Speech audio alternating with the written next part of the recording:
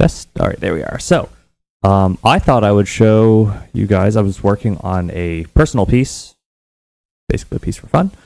Thought I would show you uh, how to draw an argyle pattern because I was trying to make one. Thought it was tricky.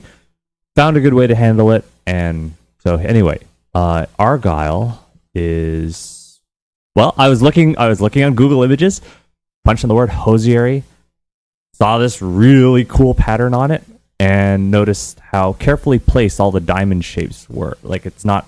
There's not a whole lot of warpage. It's really, really well placed. So, um, I when I tried to draw it, I found I had a lot of problems with something called drift, and you probably heard me talking about it in my previous video where you're trying to draw the pattern, and I was trying to draw these lines that were going over the diagonal lines, and they were all drifting all over the place, and I couldn't get the diamonds to sit where I wanted them to. I worked out a way to deal with it, and the first thing I need to do is work out a scaffolding pattern. So in this case, I'm going to work out some. I'm just going to divide up the leg. The problem is we got to deal with all these perspective issues all at the same time. So you can see here I'm pretty much following a very box cubic pattern. This is why we practice drawing boxes so much because it comes in handy later on. And then I'm going to divide it up into a grid. So I'm going in the other axis and I'm trying to cut this up into squares.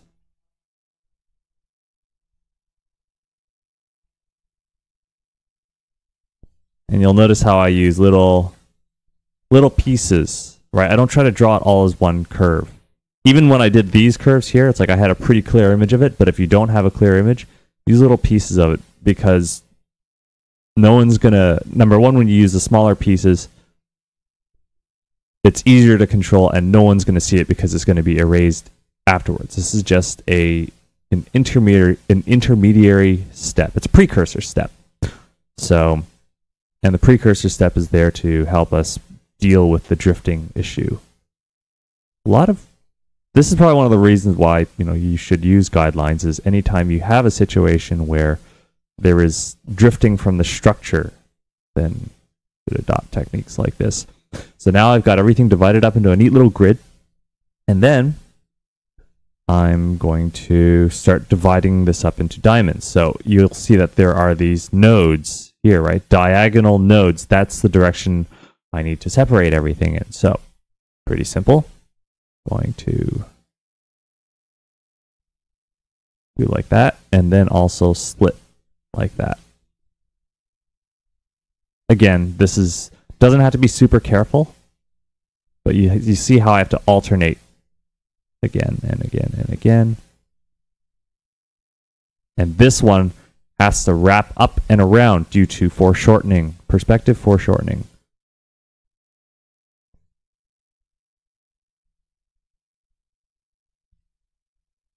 And and you'll see how I don't try to go all the way across. I just take it one segment at a time and don't rush it. And you see this one here has to has to have a bit of a downward bend to it. So every time if you're dealing with argyle, or rather if you're dealing with a pattern, it really helps to segment things because of this changing perspective. It allows you to break down the problems. Because it's very complex, right? Like you're having to deal with a with this texture mapping, you're having to deal with this pattern, and even over the course of the entire square of, of one grid square, there is there's warpage just due to the fact that you know she's got squishy legs, and there's a lot of you know tissue warpage, a lot of fat and muscle, and I'm just trying to I'm dealing with that. Plus, you have again every single one of these squares has a different planar angle, a different planar orientation. So this allows me to deal with that problem. Anyway, it's looking pretty decent. That one goes down there. Great. Now the next step is I have another layer here, which is like that. So I'm just going to grab my previous color that I used. And now it's just time to draw the diamonds. Just fill in. Oh, I think I had that on an overlay layer. I was grabbing. Seemed like I was painting on the with the wrong color. Okay, good. Always make sure that your color is correct before you go and apply it on everything and then realize, oh crap, used the wrong color. So pretty simple. Fill it all in. Actually, I think an even faster thing for me to do would be to simply fill the whole thing first. So I'm going to get a leg, uh, like, like just a, a full leg mask.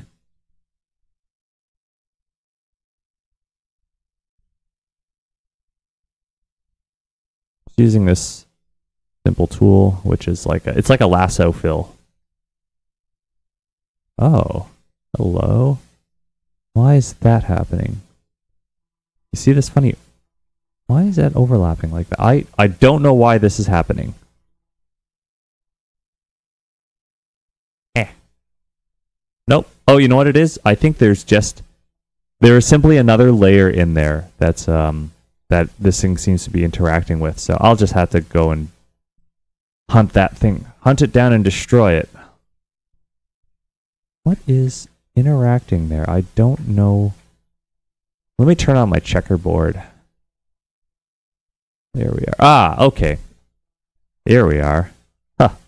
That's why. That's because this layer here has like white a white background for some reason. Okay, well uh, that's fine. I just have to uh, chop it out.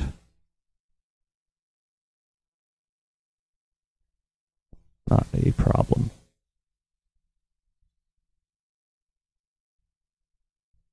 I must have filled it in earlier with a, uh, another shape. So it's causing a compositing issue, meaning the layers are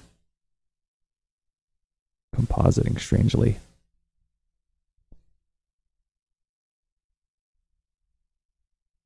Probably notice that whenever I deal with things like masking, I just I zoom in to get the precision that I need and I'm only careful right up to the line.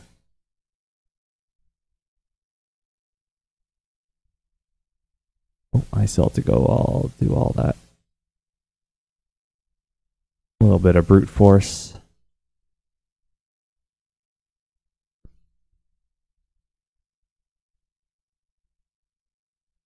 Brute force work, meaning that this is just stuff that takes a while.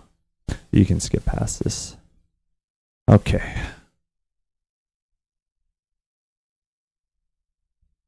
Oh, got a little bit more here.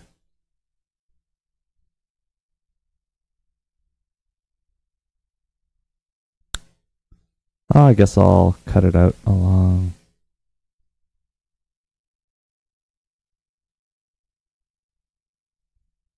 There. You probably notice how easy it like how easy I seem to make this because I'm not drawing from my fingers. Like I'm not using my fingertips to draw. Any of these really big long curves would just be a nightmare to draw. If I was doing it with like just fingers like this, it'd be a nightmare. That said, I use my entire arm. Boom. There. Good. So that deals with that. And I have this layer here.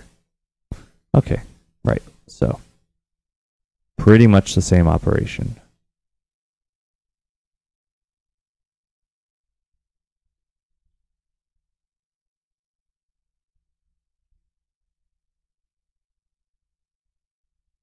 And anytime you're trying to do clean work, you you have to look at the curve that you're trying to create. Right, so you can see that this line is going this way. My arm moves best most naturally in this angle. So I always rotate the canvas to match that angle. Don't stubbornly leave your view at a at an angle and zoom level that is just doesn't work well. So the thing is, it's not that I'm capable of drawing many, many different curves. I'm good at drawing one curve very consistently, and then I always pan and rotate the view so that it fits with that ideal curve that I, I can draw. Good. So I have this I have this now. Now I need to uh, lock the transparency. I'll just get some pure white. And I'll figure out, let's see, I want the diamond here on the knee to be dark. And I need this, this part, these parts here need to be light. So again, pretty simple now. That one needs to be light. That one needs to be light. That needs to be light. I'm just marking all the um, the squares that I want to be light. You see, I do this. Actually, no, wait, hold on. This one goes like that. Yeah, okay, right. So it turns 90 degrees. That's correct. That one's right. That one's right. That one's white as well. Just looking around. So I say mark these things off first because because if you just zoom in and start, you know, painting out, you might forget. You, this this allows me to stay zoomed in. Right, so I do a lot of you know planning in advance. So this kind of, if you want to, you know, do this, I, I, I think the higher the level of artwork that you want to create, the more planning is required, more preparation is needed, and preparation both in terms of what you do to the work and also mental preparation and training. And this is not the kind of stuff that, you know, like you just learn from school. It's more like it just comes from being able you have to look at a situation and then look for problems and then say, well, you know, I'm going to run into this problem, I'm going to run into that problem, or what you do is you you try it and then you realize you know what's going wrong you're like oh i'm having this drifting problem i'm having that drifting problem these lines i can't draw the, the whole thing as one big curve because it's too difficult so i need to split the problem up into smaller curves or or maybe i just can't visualize the trying to draw a line which goes up and over and goes diagonal and goes down like that like you know it's just there's too many perspective warps too many perspective operations required that i can't mentally manipulate it so I'll draw a grid, but then the grid's difficult, so I'll just draw lines going in one axis. See what I mean? Is that you just, it's a way of thinking where you break down the problem into many sub steps that are manageable, mentally manageable.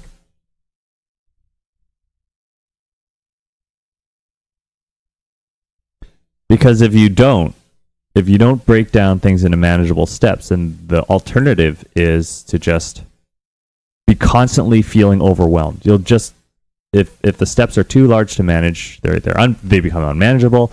You get overwhelmed, and then drawing is just a draining experience. It just becomes this draining experience that you won't enjoy. And good luck making your artwork actually, you know, look enjoyable to other people because they will sense that you weren't having a good time. They will sense that you struggled with the artwork. And the thing about art is that people are not supposed to know how hard you work. They're not supposed to know how much effort you put into the lines and making things super clean and they're not supposed to know.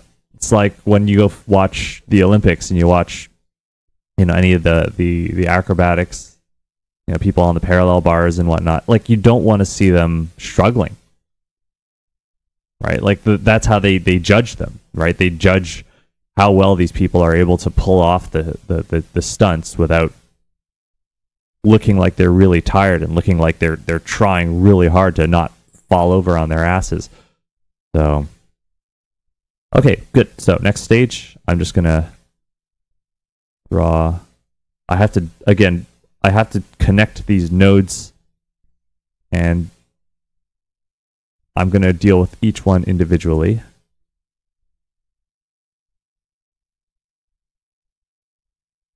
And again, you can see why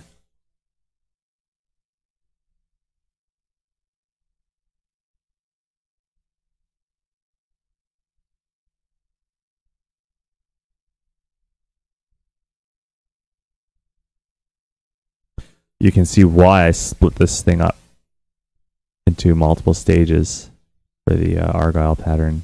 So these are these crosses, the inverted cross patterns.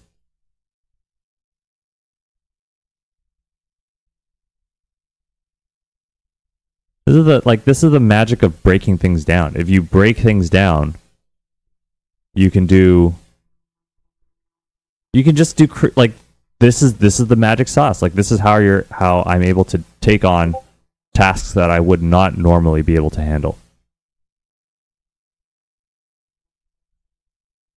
Like I'm not some like when I when I got better and better at art, I simply got better at breaking things down. I didn't I didn't I don't know grow new brain cells or anything like that. I didn't you know magically become some better art. Like I I just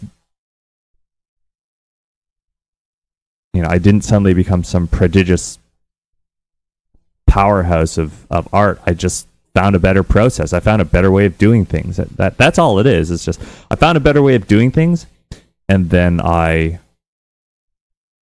and then I you know kind of train myself to do things that way. Right? Like I made that my it's one thing to learn a thing; it's another thing to kind of make it your way of life, make it your way of you, you know, ingrain it into your process and make it yours.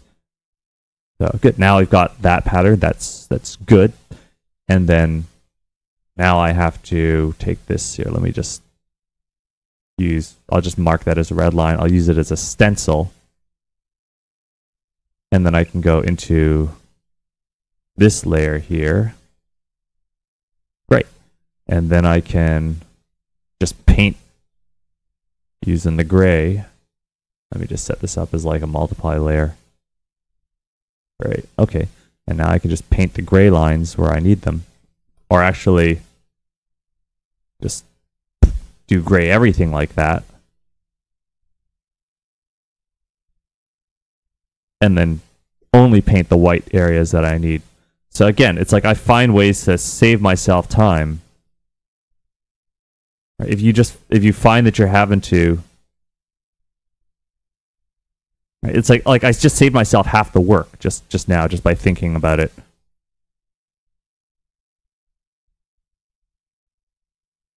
So it's it's strategy, right? A lot of a lot of this dealing with patterns like this, patterns which are going over surface forms. It's it's largely strategy, like a game of strategy. It's not like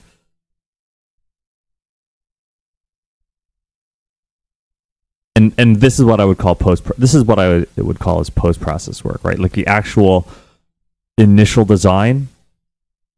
All this like stuff here. I'll, I'll show you my overlay. My um, where is it?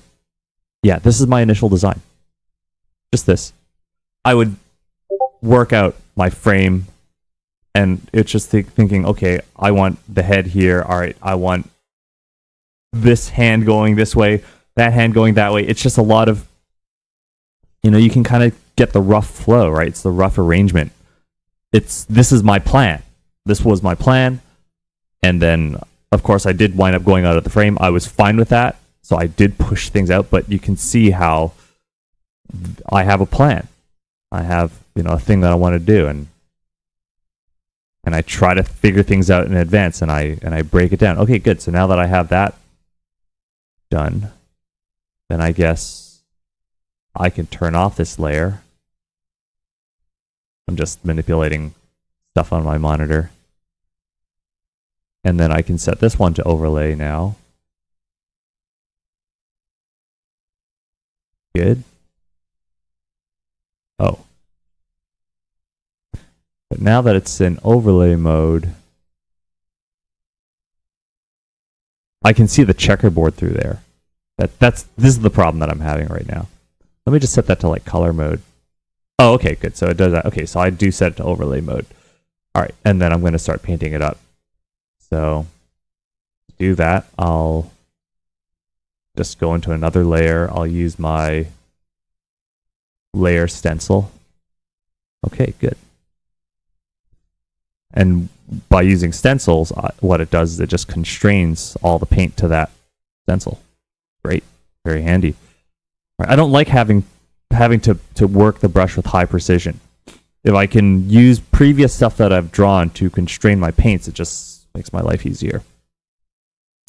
Great, and then um, since I've chosen some of the like really dark colors, I'm going to start um, I know people would like I'm going to work in an additive fashion. So additive for me means that I can actually put in speculators first. So I'm going to get this a bit of a, a glossy rim light on this.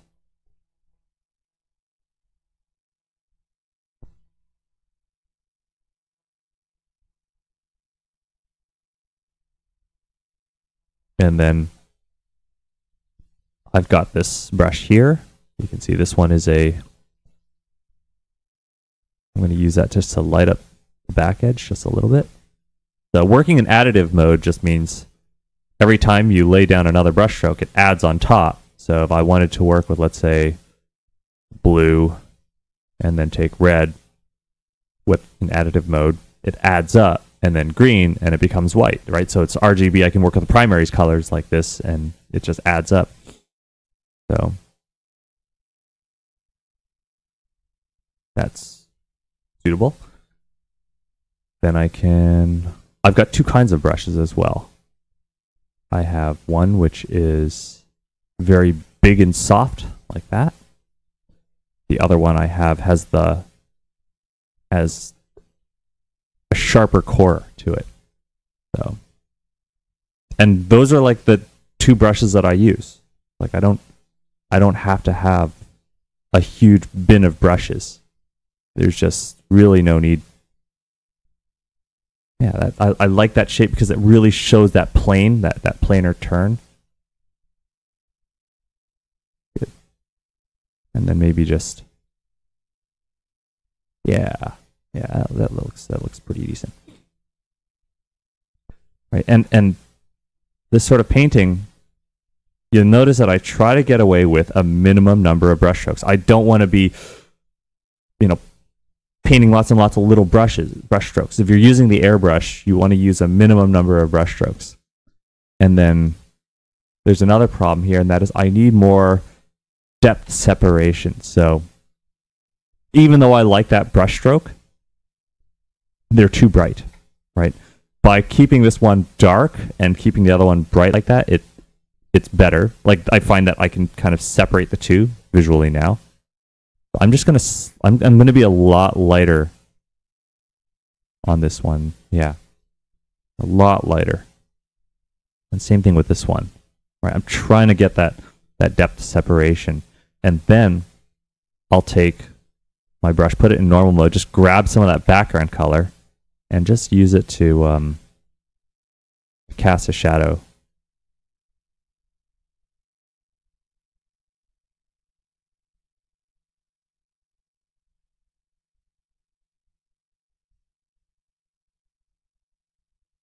So if I cast that shadow, maybe soften it just a little bit.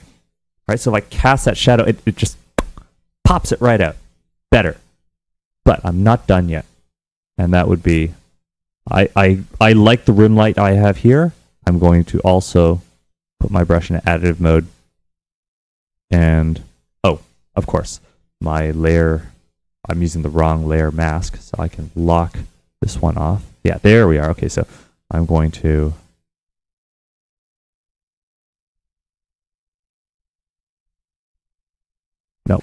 Hang on. I just need to make sure that this is uh, this is adding up the wrong way. I've got a band here, so I'm going to turn on my drawing or turn off drawing. Now now it no longer bands up because I want to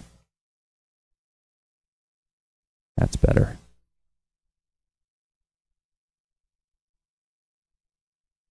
Round that up. That's good. Not too bright, mind you.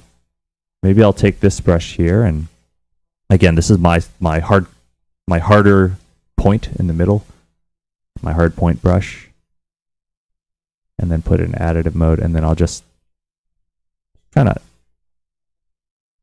get a little bit of a yeah, pop that out. It's good. Good, good, good, good. I am satisfied with that. Set my background to my neutral gray like that. There you go. Very simple. Oh, one last thing. Should go on to not that layer, this layer here. So you can see this is how the shading is. It's like it's really simple, right? You don't you don't need to have a gazillion brush strokes. And in fact, I would say that when you're using airbrushes, it looks worse when you have too many brush strokes.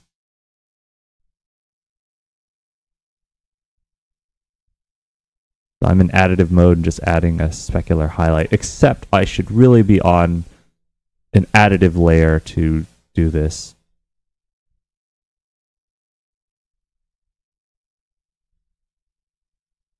Hmm. And then I should use my uh, there, my pointy core brush. And then one more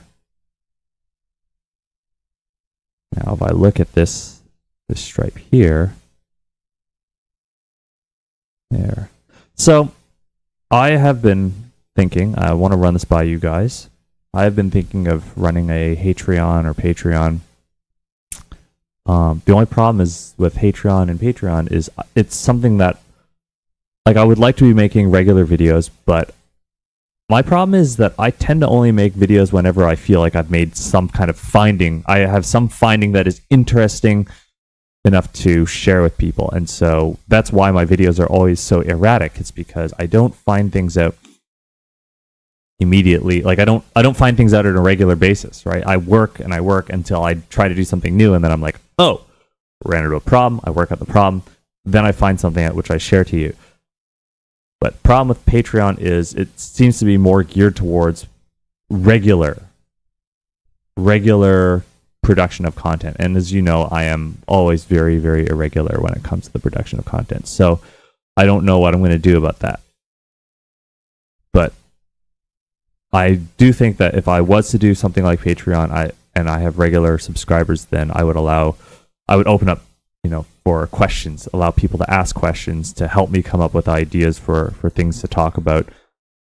I'm just, I just, it's like I'm sorry. I as I work at this, you know, I look at things and I always say, oh, I could I could fix this up. I could add that. I could. I look at things from afar, good from afar, far from good. And here, Yeah, it's like I, I, was just thinking. It's like I went in there and I threw in that back highlight, but you know, I think leaving it dim, leaving it dim makes it more makes makes it pop out more. I, I think I should. Yeah, I'm I'm gonna leave it alone. Like I could put that in there. If I look at that leg, it looks good when I do that. But if I take it out, then as a whole, the the, the combination of the two looks better oh yeah, let me turn off my blue scaffolding. It's like that. That's how it looks like. Anyway, uh, tell me your thoughts. I'll um in the comments, and well, that's that's it. All right, now go away and draw. go away.